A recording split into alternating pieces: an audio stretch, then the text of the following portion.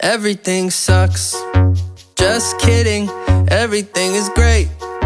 No, really, I haven't thought about my ex today. Oh, wait. Fuck, I just did. But I went outside for the first time in a few days, and it felt nice, and I might try doing exercise. Not really. I wanna forget my bad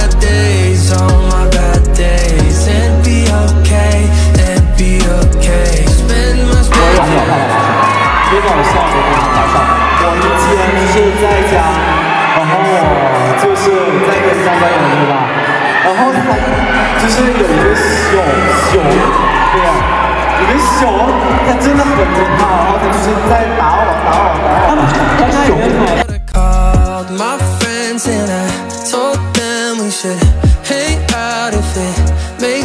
Cause I miss them and I hate